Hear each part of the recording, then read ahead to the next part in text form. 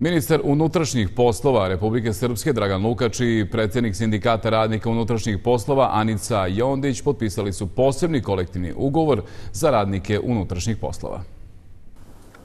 U posebnom kolektivnom ugovoru koji je danas potpisan između Ministarstva unutrašnjih poslova Republike Srpske i Sindikata radnika unutrašnjih poslova nema novih finansijskih opterećenja za budžet, izjavio je ministar unutrašnjih poslova Dragan Lukač.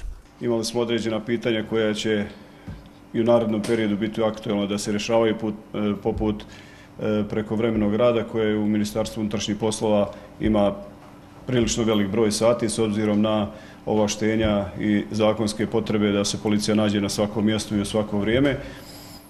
I po pitanju prevoza, također usaglašeno je sa ostalim ministarstvima koje potpisuju posebne kolektivne ugovore. U ovom trenutku ostaje e, isto kao što je bilo u, u prethodnom ugovoru, znači od 4 km pa nadalje e, radnici ministarstva kao i ostali e, radnici ministarstvima koji imaju pravo na prevoz će imati mogućnost da naplate e, prevoz. Tokom pregovora sa Ministarstvom unutrašnjih poslova, poseban akcenat je stavljen na prekovremeni rad u MUP-u Republike Srpske, istakla je Anica Jondić, predsjednik sindikata radnika unutrašnjih poslova. I ono što želim da kažem, a to je dakle da smo kroz ovaj novi posebni kolektivni ugovor koji smo danas potpisali, značajno bolje normativno uredili to pitanje prekovremenog rada u MUP-u Republike Srpske i cijenimo da je to jeste jedan ozbiljan korak ka konačnom rešenju koje će dakle vlada Republike Srpske morati konačno da donese.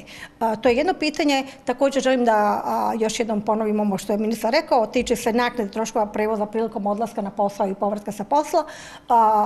Za sada sindikati i vlada po tom pitaju nemaju zajedničko mišljenje, nemaju zajednički stav, ali kao što smo najavili vlade Republike Srpske, sindikati će nastaviti da rade na tom pitanju i u septembru ove godine, dakle, putem pravosnažnih institucija koji, to, ovaj, koji se bave tim pitanjem, pokušati i doći do pravičnog rešenja za naše koleginice i kolege po tom pitanju.